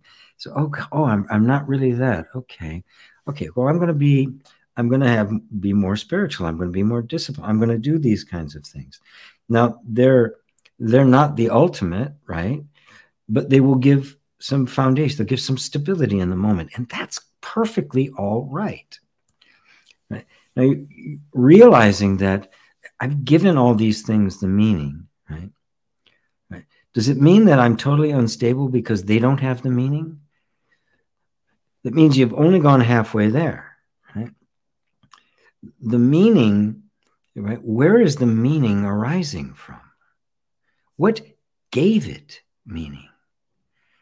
And if it gave it meaning, then it has the meaning to give. Oh, so it isn't as if there's no meaning. It means the meaning has been projected on that, and that doesn't have it. I do. That's when the ground gets solid, doesn't it? because it's not something out there that you're trying to now it can feel unstable because you have to let go of where you thought it was but take it the rest of the way oh it came from me i'm the solid ground right so it's not like there is no ground to stand on i'm the ground to stand on and yes the the teacher and they love to do this in zen um, will pull the rug out from underneath you, right? Like, like that. Simply because it wants you to land on solid ground, right? Push off the cliff, it's not you're going to fall forever. You're going to land softly on solid ground, right? Uh, uh, because you are that solid ground. So it's not there's nothing to hold on to. There's nothing to hold to on out there. right? There's everything to hold on in here because it is the substance of all things. This within you is what actually does exist. Uh, Meister Eckhart called it the ground of being. The ground of being, which he said, which got him into trouble, both the both man and God both emerged from this one singular ground of being got a lot of trouble. they didn't touch him because he was so popular, but but the church wanted to wanted to get get rid of him, and they did actually try him for heresy after he died. so, Angela, you are the ground of being. This is what we don't get. We go, well, where do I find it? Right. And as long as that's going on, we're going to be looking at it somewhere. The only place everywhere it isn't. The I is the ground of being. It is that which is unshakable. Right. And, and just ponder that for a second. The is always there. You project it meaning here and then over here, different meaning there. All these things are there. Then this changes and this is unstable. Isn't the I that's been engaging the whole time always been there? Hasn't it always been absolutely rock solid? We've just thought that the stability was somewhere other than myself. You are it. And that's that's and that's why the rug has to keep be, being pulled out from under you until you fall all the way down and go oh it's me. I gave it meaning. So i have the meaning. I'm as solid as they get. This I is unshakable. It's unmovable. It can't be touched. Can't be harmed. And it's effortless i didn't even make this I. it's just here and it's always been here. It, it's not even in time. Is that helping? Is that helping, my dear friend? my dear friend in Malaysia. Wonderful, wonderful, wonderful. How are we doing on time? Oh, we're good. Oh, geez, getting hungry. I haven't eaten today. Ebolia says different forms of freedom is my meaning I am giving to it. It's a perception of me. You speak my name is Ibo, Iboja? Aboja. Ah, thanks for your explanation. Yes, and obviously this freedom has come up a great, great deal today. Um, I think that's what I was talking about with you before. Let me go back and make sure. Um, yes, yes, it was. Uh, uh, uh, right. Different forms. Of, yes. Right. But you are the freedom. That's what I keep coming back to. You are the source of all everything that you've given, every attribute you've attributed to something else can only be attributed because you've got it. It's you. You have it. I don't much clearer you may, but your mind won't grasp this. It goes, yeah, yeah, yeah, I get it. And, and where is it again? Because because the mind cannot accept that it's already here. Why? Because the moment that's accepted, the mind ceases to exist. Its whole purpose for being has been to seek the truth. If you are the truth, its purpose for being is finished.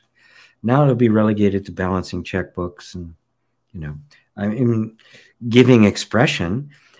I mean, it's not as perfunctory as that the mind becomes the vehicle through which you get to give this expression. It can become eloquent and, and articulate, right? And will only be used when it's needed. it won't be the go-to job. It won't be the, you know, the, the only tool in the toolbox. It will have it will have served uh, it, its purpose. It, it will have yield to higher reasoning, which will yield to to the ultimate knowing. Mm. Merck, good to see you. Good to see you. Anthony said, Yes, thank you. Good, good, good, good, good. Mary says, I'm rereading it and wow, I'm seeing it ever so more deeper. This is my second time to read it. Yeah, well, now, yes. Now that you've been more exposed to non dual teachings, you, you'll get where he's coming from. You'll, un, you'll you basically understand the, the mind of Eckhart, which wrote the book right? And you'll see that you're coming from the same place, right? And that your life is expressing it in a way totally unique. And maybe someday he'll read your book. Emil or Emil, how to step back from thoughts. Are you new Emil? I don't recognize the name. Um, how to step back from thoughts. Feels like I'm stuck in the mind and trying to find out how to come out, how to see that I'm not that I who is stuck. And at the same time, it's a lot of pressure in the body and the attention to go there. Yes, all, all of which is so. Now, let's just kind of slow down and break it down, right? Because what you did was you you presented an idea of the solution before you even stated what the problem is, right? said, how do I step back from the thoughts, right? How do I do this? Which means, okay, the answer to what I'm about to ask you is that I need to step back from thoughts, right? Uh, and I must do that because it feels like I'm stuck in the mind and trying to find out how to come out. Right? How to see that I'm not that I who is stuck. At the same time, it's a lot of pressure in the body. So let, let's go direct to experience now first, right? Drop any idea of what the solution is, okay? Let's just put that aside. maybe stepping back from thoughts isn't what you need to do. Wouldn't that be interesting? So just drop that solution and just notice how that feels. Oh, suddenly there's an openness, right? Oh, maybe it's maybe it's easy. Maybe it's way easier. okay, so there's a feeling of being stuck, right? There's a feeling. Now go to that feeling and even put aside that word st stuck, right? Because that's the mind interpreting this feeling. And now just be with the feeling. There's this feeling, and I'm going to have to use words so I, you know we can communicate. There's this feeling which you say is a feeling of being stuck.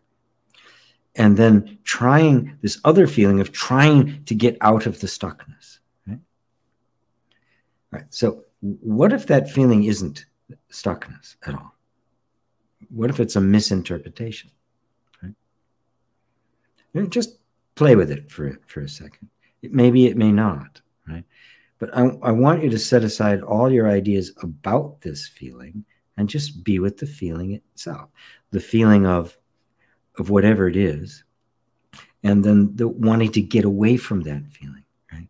And notice how your mind has decided I've got to get out of my thoughts and I've got to I've got to come out of this, right? And how do I see that this is not who I am, right? Which basically, you know, that I'm not the one who is stuck. and I'm also feeling all this pressure in the body. Now, is this pressure and this feelings, these sensations in the body, are, are they different from that the feeling you you you defined as being stuck? Just just stay with it for a second. Right? We're not in a hurry here. I got plenty of time. Let's just really explore this. And I, I invite everybody to do this? Because we all have this feeling, right? That somehow ah, I'm stuck. I just can't. I'm just not getting it, right? I, I want to be awake. I want to be enlightened. I want to be free, right? I gotta be free. I got it, right? I want that. Okay, we all have that, right? So let's just be with that feeling, right? Something that feels constrained. Right? And not let's not put any label on it whatsoever. You recognize the the the feeling. It's got a particular energetic signature to it right? So just be present with it. No thought of trying to get rid of it right? Let's not make it into an enemy. Now there's a feeling there. Now, now what if we never had the thought that said ah, this feeling is a problem. How do I get out of it? What if that thought never occurred to you? Would it be a problem? Would you need to know how to step back from thoughts? Do you know how to find to come out of it? Notice that the mind is is creating a problem and then trying to find a solution to the problem it created. But ignorant of the fact that it created the problem by calling it a problem, it blames this feeling that's there. no, it's his fault. he did it. the feeling's at what? I'm just here. I'm just a feeling. What? don't do nothing. It's just sitting there. It's just a feeling, right? It, and it didn't come and announce itself as a problem, did it? So great. We're just setting aside all of the extra chatter. And you notice that your the mind has even appropriated some non-dual ideas like, how do I see that I'm not the I who is stuck? Right. And you can see that, well, yeah, it's that's we'll get there, right? But you can see how the mind is just trying to use this to create this this thing going on? And just that all by itself, it's just a feeling, right? That has no meaning unless I give it to it. And the meaning I gave it was, it's a problem. Oh, okay. I withdraw that, Your Honor. Objection sustained. All right. Now it's just a feeling. Notice it's being just a feeling. You just notice this space opening up and going, oh my God. Oh, it's just a feeling. And then you can see very subtly there's a problem. And then there's and then there's somebody who's got to deal with the problem, right? Can you see that that's the I that's stuck? As if I'm an I, have to deal with this problem. I need this problem to be the I. oh, just by seeing it as a as just a feeling i have now come out of the i that needs to get out of it. There is no i that needs to get out of it. I'm not in it. That was just an idea a thought a pattern that i accepted as true oh i'm not in it i've never been in it in the first place so i don't have to come out of it now Notice the pressure in your body. What's happening to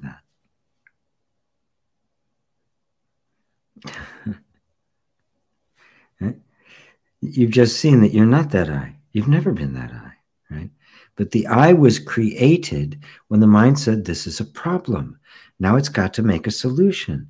And now there's a person who has a problem and they're working this out. And how do I step back from thoughts? You just did. You don't just step back from, I don't want that thought, I don't want that thought. You step back by understanding, right? Understanding that thought is secondary and that there's just an experience that happens. And then the mind gives it meaning and interpretation and creates somebody to deal with the meaning that it created in the first place. You go all the way to the root and go, it has no meaning. It's just a feeling. All of a sudden, it's like, the whole thing collapses. The mind's gone. The one who's stuck is gone. The stuckness is gone. And whatever that energy is, is free to do whatever it needs to do.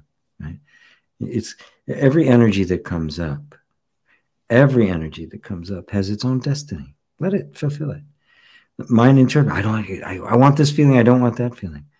There's no such thing as a as a feeling that's bad or good. They're all neutral. They're just feelings and all the rest is just this this mind stuff right that is um, that's completely imaginary right how you doing emil did we get it let me know marie see oh god Cialela. See see see see I can't pronounce your name. I love to because Italian's so beautiful. Uh, love to all of you from Italy. Thank you so much, GP, for your generous, loving sharing. My pleasure. I love to do it. Angela, thank you. I do get that the self is the ground. It's just an unfamiliar way of being. So it's not established yet. And in many ways, the mind is still playing its tricks. Yeah. And every time it plays a trick, you get stronger. Y your feet sink into that concrete. the, those those pylons that hold the building up go even more even more deeply and just notice that it's just a feeling that's coming up right i'm unstable it's going to be unstable it's like no it's not I'm the stability, right? You're not. So yeah, shake around a bit. It's okay. It's okay. It's like, you know, like a little kid. I don't know. I'm scared. It's okay. Come to mom. All right. It's all right. It's all right. No problem. Are you ready to do it now? Yeah. And off, off to the slide they go. I mean, you know, my daughter, what loves to, my gr- granddaughter loves to, you know, jump around on the bars and then she'll fall, right? And she'll try something and she'll fall, you know, five, six feet. You know, she's, you know, little. where, where, I'll hold her. we go off on the side and we'll just sit there where she cries for a while. And you go, okay. You want to try it again? Yeah. And up she goes, you know, this time she makes it. And then, you know, a couple weeks later, she'll fall again. it, it, it, regard all of these things with that level of humor and of compassion, right? These feelings and stuff, you know, if you regard them as like rescue dogs or, you know, scared little kids, they won't seem nearly as, as significant. They won't seem so powerful and overwhelming. Yeah. yeah. So, um, and notice that the, the mind, the, the, remember, yes, the mind is playing its tricks. I always like to bring attention back to this. There's no mind playing tricks. It's not an entity that's out to get you any more than Siri is an entity out to get you, right? If Siri says, I'm sorry, I don't know that, right? There's no I there. So mind is simply a word to designate patterns of thought, nothing more. Okay? Nothing more, just a pattern of thought. And because we have gone along with these patterns of thought and not scrutinized them, they pop up and appear to be playing tricks on us, right? But when you pop up and you go, oh, there it is again, there's the mind, and I'm not trickable anymore. right? And so we can refer to the mind as playing tricks, but what it really is are simply thought patterns that have not yet been scrutinized. That's it, right? So there's nobody out to get you. there's no devil. There's no Lucifer, right? Nobody's. oh, Angela. Wonderful, wonderful, wonderful. Mary says, yes, he says exactly what you said about those who read his books. Yeah, yeah. Well, we speak from the same place, he and I. Yeah, he's just been on Oprah and I haven't.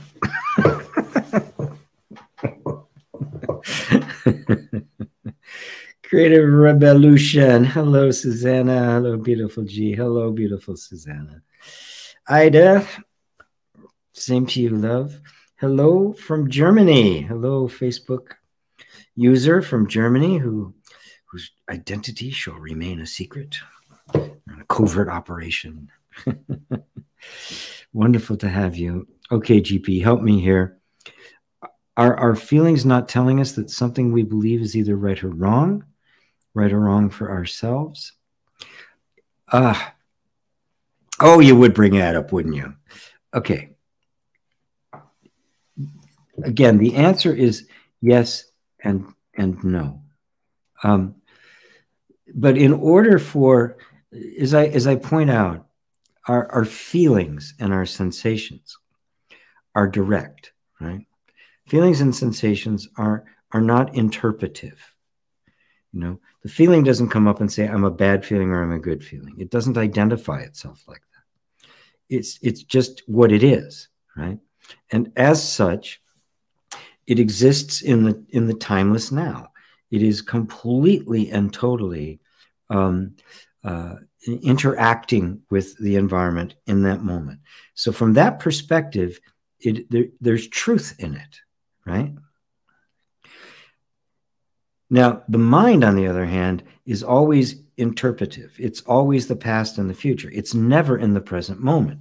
It's always reacting to the present moment and and then imposing meaning and interpretation and significance to it. It gives it its importance and then determines what we're going to do about it, how we're going to react to that. So when I when I do something like I like I just did with Emil, we go directly to the to the to the sensation itself and remove all the overhead. at, at that point, one of two things will happen. It, it will either it will either dissolve, right? Because that's all it needed was the space to, to free itself, or it, it will begin to morph, right? Um, it, it may move, it may move in the body, it may change forms, it may do all sorts of things. And our job, though, is to stay with it as it is, right? So if there is something for it that it needs us to to uh, to, to share with us, right? It can, and that's what the inquiry is, right? When when it, when the sensation is just there and and it doesn't budge, right, or it's just kind of transforming, at that point we inquire, and the inquiry is just very gentle. It's compassion. What are you here for? What are you protecting me from? there's no such thing as a sensation that isn't here for a reason. But what's important is, and this is the heart and soul of inner reconciliation, which I highly recommend to everyone, you're you are going directly to the sensation itself to find out what that purpose is. As long as we're in the mind uh, analyzing it, it will be our assumptions about that feeling. And there are always going to be some variation on how to get rid of it. They're never going to be, I want to stay with it and and have it tell me what it, it wants to to say. It the because the mind always assumes it knows and then it tries to impose itself on the feeling. This is this is my big complaint with self-help. That's what it does. And and psychoanalysis that doesn't have an enlightened practitioner. I've got a lot of psychoanalysis as students that have become enlightened psychoanalysts that that actually the, the psychotherapists that that actually that use psychotherapy to get to that pure experience of the of the feeling. When the mind is out of it right and we're and we are just being completely present with the feeling as it is it now has the space to reveal itself to dissolve to do whatever it needs to do you're no longer fighting it and you're no longer imposing any kind of eh, meaning or anything onto it. You are actively asking it, why are you here?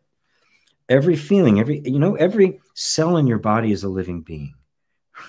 it has a life cycle, it has a purpose, and it fulfills that purpose and it dissolves, it, it dies. The energy goes back into making something else. Right? Uh, our feelings, our sensations, our emotions, all of this is the same thing. They all have a purpose for being there being an emotional distress or physical pain or whatever it might be, there's a reason it's there, right? And sometimes all it needs is the space, right, where it's free to move and it will dissolve. It's gone, it's done. It, that's all it needed. Other times it needs more, right? It does need to tell you something. And so you'll hear me say a lot with people as I'm working with them, talking to the energy. If there's something you want to say, I'm listening. Otherwise, it's up to you. Right. And some of the stuff that can come up is out there. really stuff so very strange, you know, and stuff from past lives, right? That had nothing to do with the line. And it's obvious. But that was the energy that was trapped in whatever way that needed self-expression. And once it did that, the energy was now freed. All that energy went into out of self-protection and into self uh, uh, expression. And so, you know, when Eckhart Tolle refers to the pain body, notice he's not taking an antagonistic position towards it. He's just identifying for what it is this energy that needs to feed, right? Right. So if you if you if you are present with it, right, but not feeding it what it wants, right, it gets what it needs, which is love. That's what it really needs. That's what it always is. Right. And so from there, you, you're you're right. There's no judgment on the feeling now, and it will reveal what it needs. And and it will it will dispel old traumas. And then those feelings really begin to merge with intuition and they begin to instead of reflecting old traumas and patterns and wounds and the like they they become what they really are, which is the intimate and immediate connection to the environment. Which means that whatever you're feeling because it's no longer burdened by old stuff is is accurately uh, responding to the environment and therefore you can trust it as being accurate. So that when you know i've come to trust those feelings enough that when i'm i'm speaking either either to a group either online or in person or in a, in a session or even here i know what people are feeling because i'm feeling it and, that's you know it's not it's not psychic or anything like that it's not my mind reading it's just i i trust i trust the feelings now right I, I, trust they're resonating with the whole environment, which is revealing to me what's here. Right? This is the, the connection I have literally to the whole universe. Because ultimately the your the universe is your body. It, appears to be localized here, right? But that's just a concept, right? Can you separate the body from the environment? Can you separate the plants from the ground, from the from the light, from the, the carbon dioxide uh, that they're breathing in? Can I separate myself from the plants? I, I need them without the plants, and uh, uh, I I can't breathe. Uh, it, it's just you you see that this is one functioning, and and and now feelings become trustworthy because they're not distorted anymore right? they're they're free to come and go as they please. And that's exactly what they do. They come they report they're gone done right?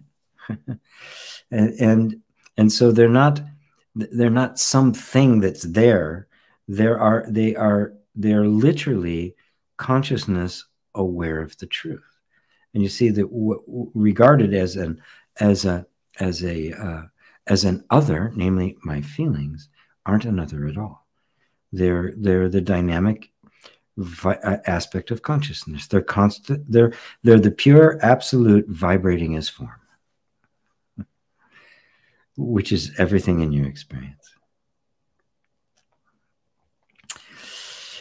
Ah, great song says, thank you. Thank you, John. Susanna's going to fix the Oprah.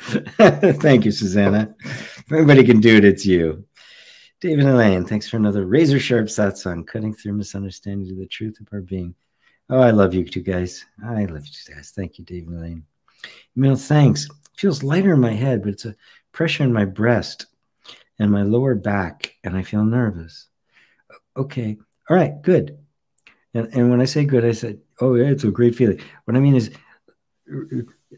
don't do everything you can to let go of your resistance to those feelings and and and you can see the way that the mind is saying they shouldn't be here. Well, if they shouldn't be here, they wouldn't. I, I always assume that when something is happening, it's supposed to be happening, and I know it's supposed to be happening because it's happening. I assume that what is happening is what's supposed to be happening. So take the pressure off yourself to know what it is, to to get to the root of it, to do anything at all. Take all the pressure off, and just go, oh yeah okay my head's lighter let's just let let's just kind of let that lightness come down here into my into my breast my my, my chest my, and and to my lower back and my whole body. And just open up and say what is it you need to tell me? Up to and including nothing at all. And, and i'm just listening. And i accept that you're here and that you need to be here. And i give you full permission to be here. And um, I, I realize that there's some resistance. I really don't want to feel this way, but I acknowledge that and I acknowledge that you're here. And um, I'm willing to reconcile with all of that. If you know how to do EFT, you can do EFT while you do that for a little bit. Not too much, just kind of like I call it presence tapping, just using it to help the body kind of sink in and and let go of the resist resistance to it. Right? And and and when you do that you'll find that the suffering even if even the feelings themselves which may even become more intense there'll be less suffering in it right? as you become more and more curious about them and less resistant to them the the pain begins to diminish. Right? So wonderful, Emil. Wonderful. Mary, beautiful. Thank you. GP, thank you. Great side. You're welcome. Ava, thank you, GP, for today. Whatever you're saying here lands inside without any question or doubt. it's always a wonderful experience. Ah. It lands in there without question or doubt because it's coming from there. Uh, David, ah, sneaking one in on me at the end. GP, when you said your mind is not an entity out to get you, that's how religion makes it seem. Yes, to be completely in fear of yourself. Not only religion does that, but a lot of spirituality does. I've got to get rid of the mind. A lot of misguided meditation. I've got to quiet the mind, make the mind shut up. Um, without understanding what it is. And it it is simply, again, the way the mind function works, the way thought processes work, is they create what are called abstractions, right? And so it's just this fluid flowing of thoughts. But when I'm talking to you, I just can't say the fluid flowing of thoughts, right? Because it's a moving thing. It's like trying to, what's a river? We call it the Mississippi, but what is it? It's like, oh, it's just this constant flow of water. We call it wind, but it's just all the air moving, right? But the moment I give it a name, I kind of concretize it. I, it's like I, I, it's like I photograph it now, and it becomes a thing. That's an abstraction, and mind works that way, and it's good. So I can say mind, and we can talk about it, right? But of course, here's what happens: once it becomes a concrete thing, and that's what an abstraction is, it becomes a, a, mental object it begins to eh, become a thing that it gets thoughts about and it gets interpretation and it has meaning and has an identity. And the mind starts making stories up about that. And so now the mind becomes this entity that's messing up my life and it's it's the devil incarnate and it's it's doing horrible things to me and I've got to purify my mind to see God or I've got to I've got to I've got to focus my attention so I can manifest a new car. Right? and all and what you're doing is you, basically you're giving medicine to a ghost what is it that the mind is well it's a word it's a word that's become divorced from what the word originally meant and has taken on a life of its own a completely fictional life of its own right it's got no more reality to it than darth vader right we can talk about darth vader right but it's a completely fictional character mind is a fictional character so if you take all of that away from it, right? All the extra over overhead and say, okay, what was it originally? What was it to, to represent? This is what Ramana Maharshi means by going back the way you came, through the abstractions, back to what was it? Oh, it was a flow of thoughts. Oh, a flow of thoughts. And thoughts, like everything else in the universe, form patterns. And this pattern is something that's kind of in ground and it happens until I see it as a pattern. And in the seeing of it, the pattern begins to dissolve. When I don't see it, I can see it as a trickster, right? Which is just another word, right? It's the trickster God, it's the trickster mind, right? But what is it? it it's a flow of thoughts, a particular pattern of thoughts that I hadn't noticed before that kept coming up and grabbing my attention that I had I had ideas about what it was. And oh, wait a minute, isn't that at all? It's just this pattern of thought that I haven't looked at. Now I'm looking at it, I go, oh, there's nothing tricking me. I tricked myself by believing it to be so. I tricked my damn self. so there's my my little exposition on the on the mind to uh, to bring this bring this to a close today. So thank you all for joining me. Thank you for being here. It's always, uh, always the high point of my week. I love you all so much. Until, mm, until next time, namaste.